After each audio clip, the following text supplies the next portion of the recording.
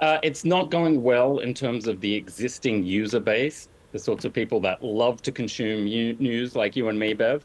But that's not the point. The point is for Elon Musk to completely change what Twitter was, turn it into something called a super app, which is very popular in a lot of Asian countries, where you can do banking, you can do all sorts of things other than just share news and short messages. So, yes, it's trashed the Twitter brand, but Elon Musk is trying to do something quite different with the app. So, from his perspective, it's going great. He's cut costs, and people don't talk about Twitter as much anymore. Yes, they don't talk about Twitter, but in the in the trashing of the brand, he's lost, I would imagine, a lot of trust if he is going to parlay this into this one-stop shop that he thinks is going to be a winner.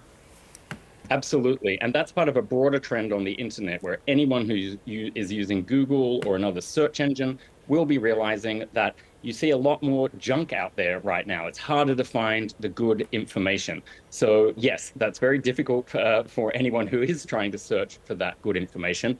But in that sense, Elon Musk is, is struggling with a bigger tide. It's actually not all just about him in this case. Yeah, indeed. Let's look at Threads that was launched by Mark Zuckerberg. It sort of was, you know, straight from Instagram. Um, it got, what, 100 million vote, uh, users within sort of a week, but that doesn't seem to have gained any traction. Yes. So he was fast out of the gate but and I will count myself in this group of people. Uh, there's not so much engagement when you look at it a month later and maybe a year later down the line. Uh, so one of the things there is that users don't have a lot of control over what they see in the Threads app. It's all based on Meta's algorithm, and the algorithm is quite successful. They've made it work at Instagram but it's not necessarily what the people who were fleeing Twitter were looking for. So there's been a big drop off in the number of people using the app and the way they use it. And so that's going to make it really hard for Mark Zuckerberg to actually monetize it and turn it into a profitable business. Yeah.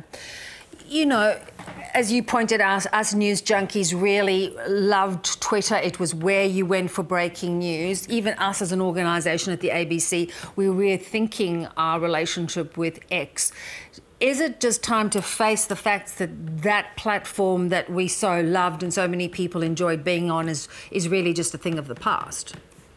Yeah, I'm struggling with that one too. I don't want to give up those 85,000 followers, but then I don't notice many of them talking to me anymore. So that's the big question everyone is going to have to ultimately answer. And it's part of this broader move in towards AI.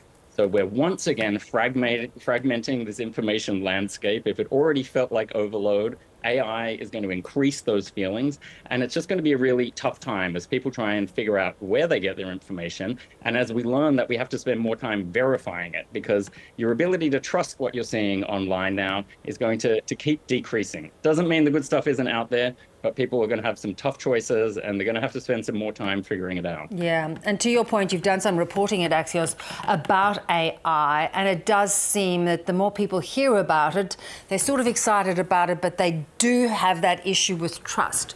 How do you think that, what is the way forward?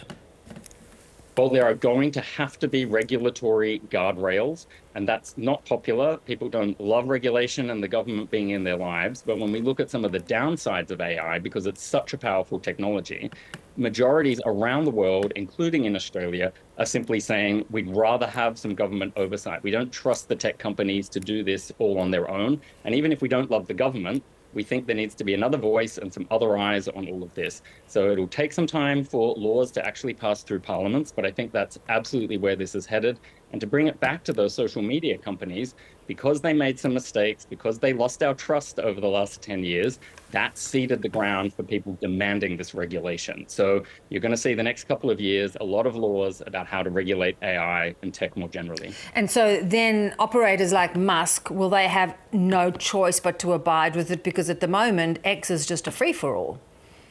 Absolutely. And the big players in big tech try to get out of laws all the time. Elon Musk doesn't even pay his rent some of the time. So they will appeal these laws. They will do what they can to skirt them. Uh, but if enough governments work together and if they're well thought out and really targeted at what the problems actually are and, and not a power grab from the politicians themselves, then yes, Elon Musk, Mark Zuckerberg, they'll have to comply. Comply is one word, but what on earth do you make of this much touted cage fight? It's hard to believe these two multi billionaires are sort of got this little sideshow going on. Well, they have a track record of making improbable promises and sometimes delivering on them. Zuckerberg is big into extreme sport, so I don't have any doubt he could physically complete the challenge. But the real message here is Elon Musk treats uh, the media and everyone watching him in the same way that Donald Trump does. So whether you like or you hate Donald Trump, I'm not asking you to make a decision on that point. I'm just saying that's the way Elon Musk runs these discussions and toys with people's attention. So a man who says he might need surgery is probably not a man who is going to do a cage match in Las Vegas, is my final thought for your viewers.